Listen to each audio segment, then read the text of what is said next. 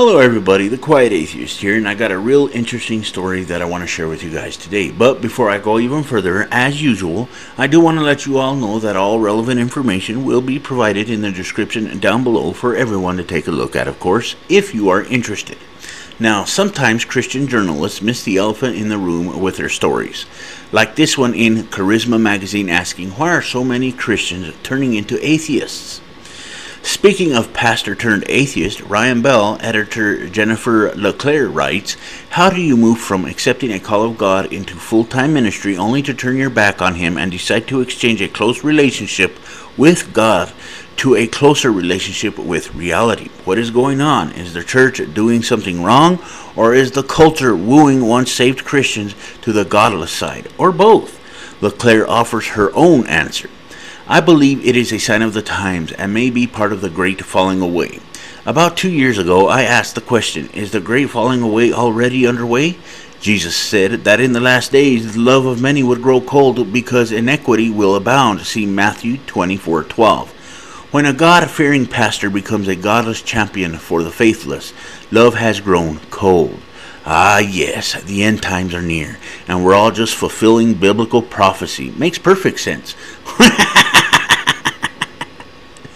Anyway, here's why I think, you know, a lot of people are leaving Christianity. Now, are all of these people becoming atheists? No.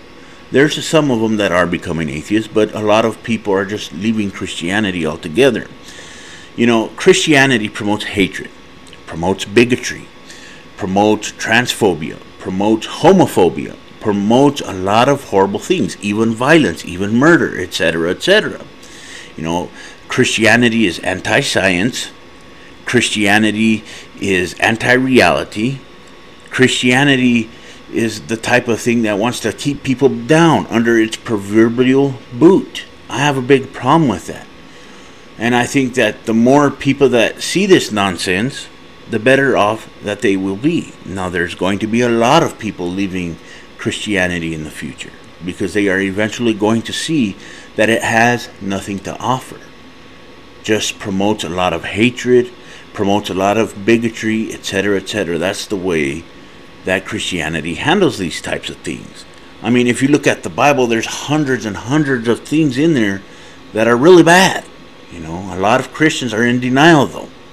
But some of them are actually looking at what Christianity has to offer, which is nothing as far as goodness is concerned. And that's how I feel about this entire situation. So, again, let me know what you guys think in the comment section down below, and thank you for watching.